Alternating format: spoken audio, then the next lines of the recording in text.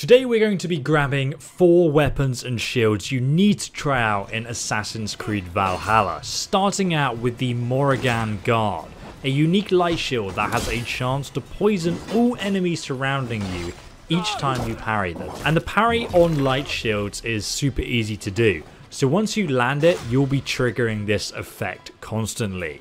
But this effect only gets better as you level up your character. For example, the skill Miasma, right at the back of the Raven skill tree, enemies who die from one of your poison attacks will release a toxic cloud around them, infecting those who enter. So essentially anybody you kill with your shield's poison attack will trigger Miasma. So you can really just stack up tons of poison damage on your enemies and it's just ridiculous. You can kill crowds of people easily with this effect, especially if you also grab all of the poison mini perks as you're leveling up your character to increase poison buildup and the damage your poison does as well. I've not even fully spec my character into poison yet, but as you can see, I have a poison buildup of 59 and a poison damage of 59, so my poison attacks are already absolutely ridiculous, but this shield makes it trigger even more often.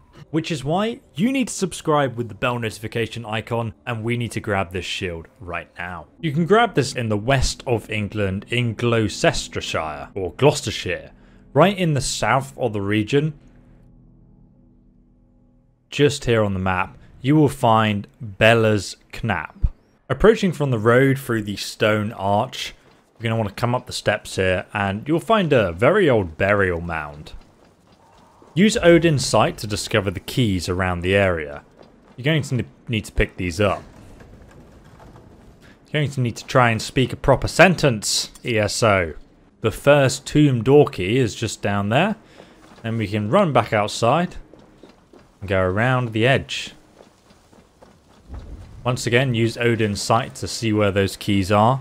We go ahead and run down here, you'll find another tomb key. Obviously, there's loads of smoke in here.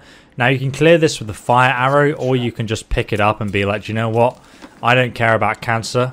I'll take that. And then for the next one, we're going to turn around and run all the way to the other side of the hill, because there is another entrance into this burial mound. Here we are. Kind of marked by this bonfire on top of it. Just smash through the hole here.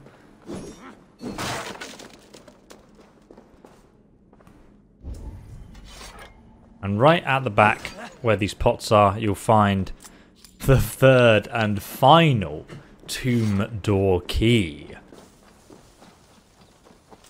You guys are enjoying the video so far, please do drop a like, because now we need to head all the way back round to the actual entrance of this tomb. And you'll see you can't get inside. So climb up onto the back here and right by this tree you'll find some fire pots. Just here at the back.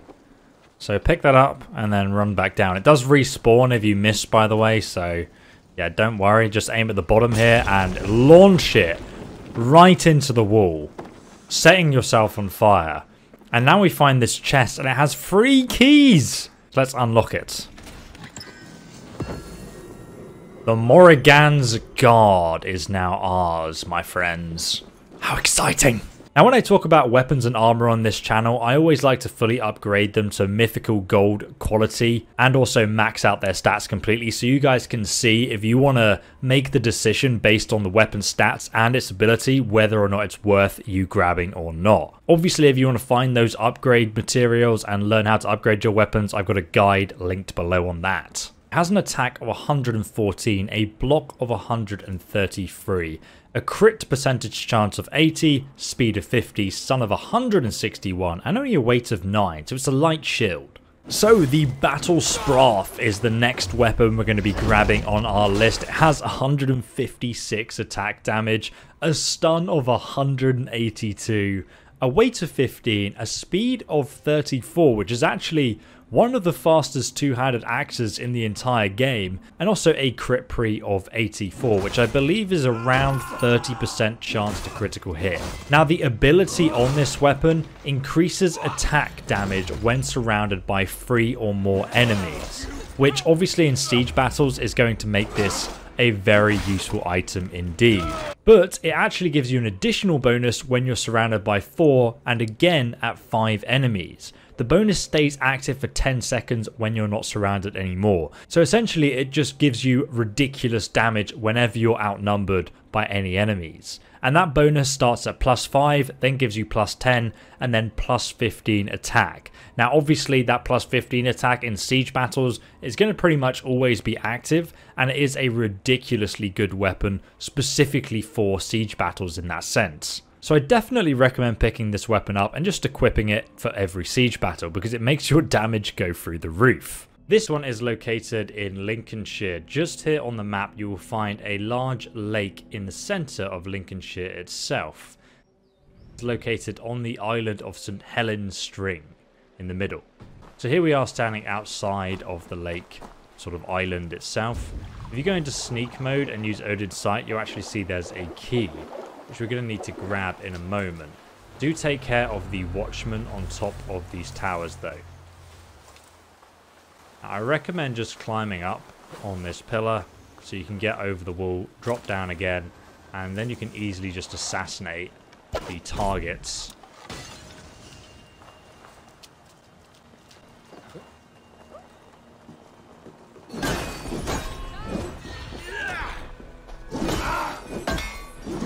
some reason I'm like bugged out here so I couldn't actually get the assassination ability, but oh well.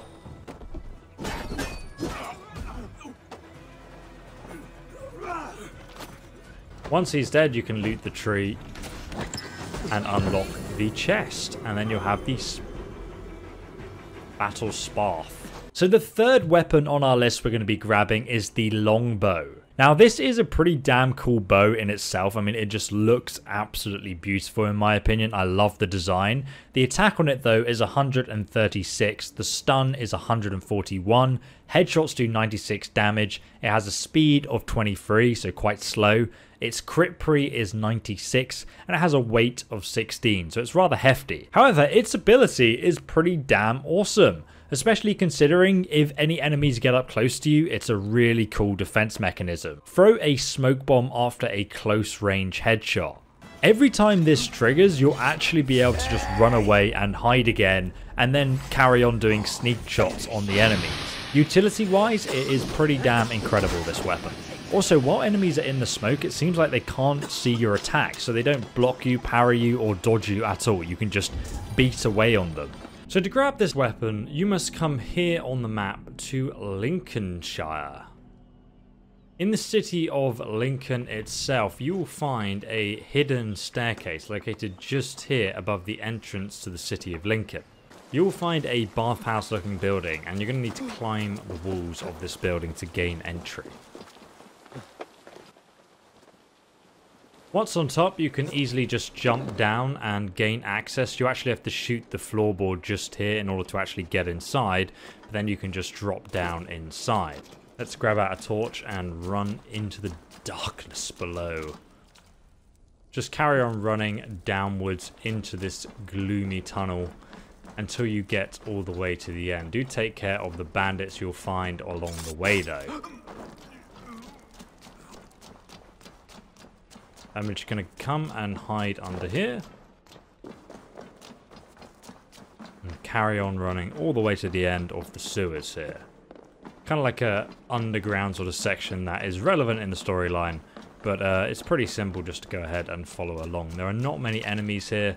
But you will find some bandits once you reach the old Lincoln sewers itself.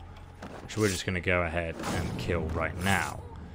Once you enter, just come to the right here, go up this ladder, and then we can easily just sort of run across the room without drawing any unwanted attention. Once you get here, drop down. Do take care though, because there's two enemies that will be there. You can easily kill them. And then we can go ahead and assassinate this guy who's standing in front of the treasure chest, which we need to grab. How on earth did that what? And then we can loot the treasure. To grab the longbow. So taking a look at the fully upgraded mythic gold quality plank and buckler heavy shield, It has an attack damage of 144, a block of 179, crit percentage 77, a speed of 22, very slow indeed, a stun of 179 though, and a weight of 16. So very slow, heavy shield, but it really does protect you, especially making those parry attacks super easy, increasing heavy damage when parrying by plus 12 damage, which is a huge boost. Not to mention that that boost lasts 10 seconds. So pretty much in combat, you're going to be parrying people, I would say, every 10 seconds at least. So this shield pretty much gives you a permanent plus 12 heavy damage bonus. And usually after you parry your enemy, they pretty much are open for a heavy attack, meaning you can really milk the most out of this effect. And to get this one, we need to come all the way back over here on the map to East Anglia. In the east! Who'd have thunk? In the southwest of the map, not too far from this viewpoint just here. Right in the bottom southwest, you'll find Sutton Hoo. It's basically a bandit camp on the coast that you can easily find some armor inside. First, let's just take out this guard here. So he doesn't give us away. Then you're going to come down this ladder just here and there is a secret cave within. Do take care because there's a few guards down here as well, though they should probably be sleeping or relaxing. Making for easy targets. Carry on through the cave and you'll then come to another area you can drop down.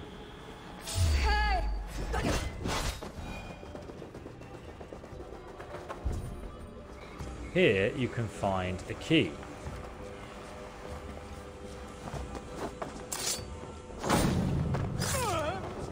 Among some other treasure. Make sure you pick up the key.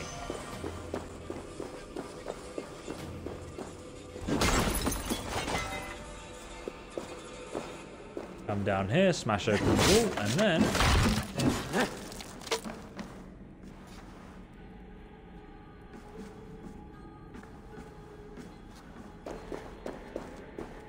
find an explosive barrier that's kind of blocked.